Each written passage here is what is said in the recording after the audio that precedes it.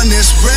Oh my god, oh my god. If I die, I'm a legend. When they lay me down to rest, I know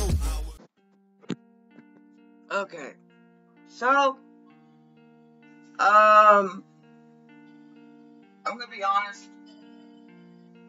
This isn't what I expected, but I am super glad it actually happened. Honestly, I expected, uh, to get like 20 other video mates on me, okay? I actually expected that. I didn't, however, expect that he would get back into the DMs finally after having everything be public. So, he ended up ending it with me in DMs, so uh, I'm going to be removing that. I think I actually already removed the video off of YouTube. So this is just my video to let you guys know it is 100% done. We're not going to be starting any more shit together, and if we do, it'll most likely be because of a joke that one of us makes. Because I already told him I'm still gonna make jokes, but that's just because that's how I am.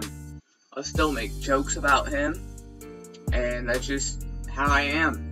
I'll make jokes about anybody. Hell, I'd even make a joke about my girlfriend if I fucking felt like it if I had one. Just because that's how I am. I'll joke about everyone and anything. But, um, I know it's gonna sound kind of disingenuous. Because it'll sound like it was written by somebody else here, so... Let me just go on and say it. Stay away from the channel. If you like his content, you can subscribe to him. Otherwise, stay the fuck away from his content.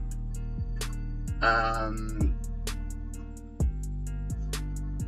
at least just don't send him any negative feedback. Other than that, that's really all.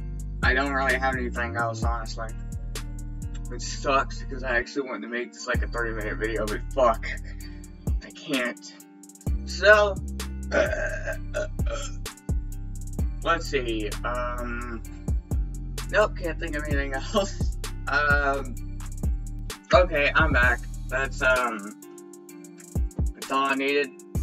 Uh, thank you all for your time, and I will see you all in the next video. I'm actually really fucking happy I got rid of this bullshit. Finally.